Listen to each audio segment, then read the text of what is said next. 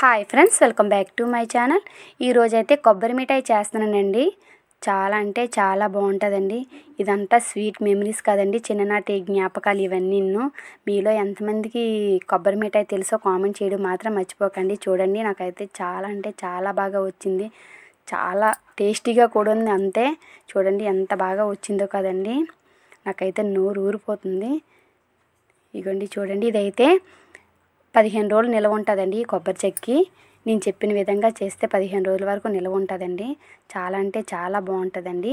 దీన్ని మీకు ఏ షేప్లో కావాలితే ఆ షేప్లో కట్ చేసుకోవచ్చండి. ఇగోండి చూడండి.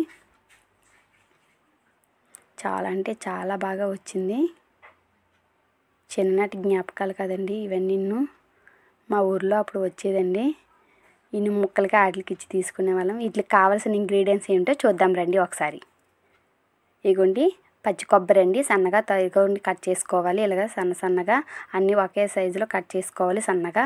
ఒకటి లావు ఒకటి దీనిగా కట్ చేయకూడదు. షుగరు కొంచెం నెయ్యి. పొయ్యి మీద కళాయినా అయినా పర్లేదు తపేలైనా పర్లేదు ఏది ఏది నచ్చితే అది పెట్టుకోండి. అందులో కొంచెం నెయ్యి వేసి ఇగోండి.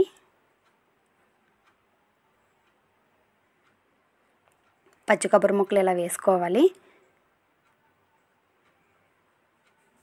దీన్ని ఒక టూ మినిట్స్ ఫ్రై చేసుకోవాలండి కొబ్బరి ముక్కల్ని.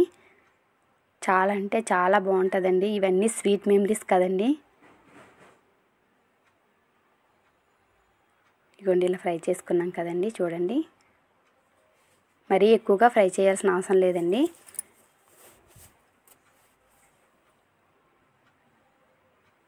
ఇందులోకి నేను ఒక కప్పు షుగర్ తీసుకున్నానండి.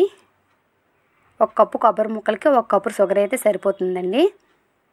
ఇవన్నీ అందులోకి కొంచెం వాటర్ వేసానండి. కొంచెం అంటే కొంచెమే వేయాలండి. ఈ మూడు బాగా మిక్స్ చేసుకోవాలి వాటర్ షుగర్ కొబ్బరి ముక్కలును. ఇగోండి ఈ రకంగా నేను కలుపుకున్నాను. ఇగోండి ఈ రకంగా.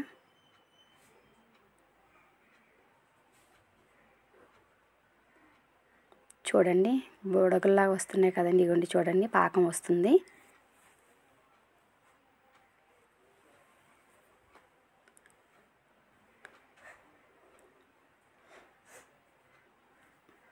ఇగోండి ఈ రకంగా మరుగుతూ ఉంటుంది. ఇగోండి పాకం వచ్చిందో రాలేదో ఒకసారి మనం చెక్ చేద్దాము. కొంచెం వాటర్ తీసుకోవాలండి. అందులోకి పాకం వచ్చిందో రాలేదో ఇలా చెక్ చేస్తున్నాను చూడండి. పాకం అయితే రాలేదండి.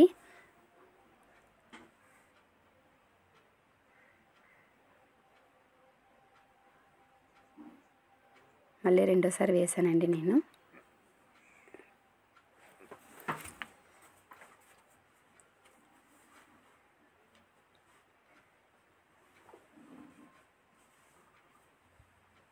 ఇగోండి.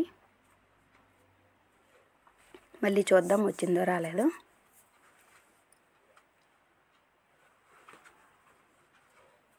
ఇగోండి ఉండలా కడుతుంది కదండి. ఇప్పుడైతే పాకం వచ్చేసిందండి.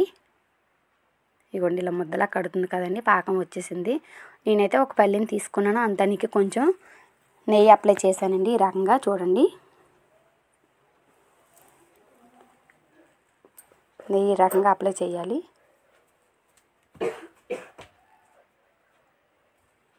ఇగోండి మనము పాకం వచ్చేసి కదండి వచ్చేసింది కదండి దాన్ని దించేసి పల్లెంలోకి మనం తీసేసుకోవడమేనండి. ఇగోండి ఈ రకంగా.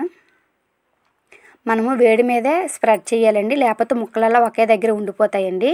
అందుకని వేడి మీదే స్ప్రెడ్ చేస్తూ ఉండాలి పల్లెమంతా కొబ్బరి ముక్కల్ని. లేకపోతే ముద్దలాగా ఒకేలాగా ఉండిపోతాయి. దీన్ని ఓ టెన్ మినిట్స్ పక్కన పెట్టాలండి చల్లారాలి. చల్లారితే కొబ్బరి ముక్కలు అచ్చు చాలా బాగా వస్తుందండి. ఇగోండి. వేడి మీద ఇలాగ స్ప్రెడ్ చేసుకోవాలి. లేదంటే ఒక్క దగ్గరే ఉండిపోతాయి.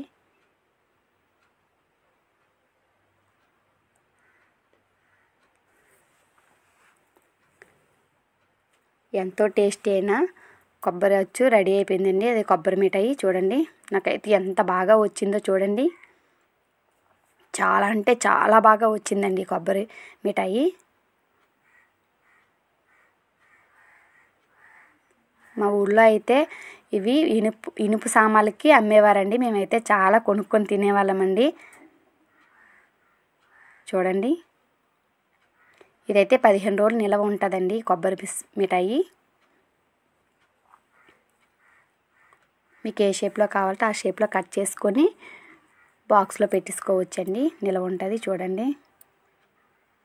ఫ్రెండ్స్ ఇంకెవరైతే మా ఛానల్ సబ్స్క్రైబ్ చేసుకోలేదో సబ్స్క్రైబ్ చేసి లైక్ చేసి షేర్ చేసి కామెంట్ చేయండి. ప్లీజ్ సపోర్ట్ చేయండి. ఇలాంటి వీడియోస్ ఇంకెన్నో కావాలంటే ఒకసారి మా ఛానల్లోకి వెళ్ళి చూడండి.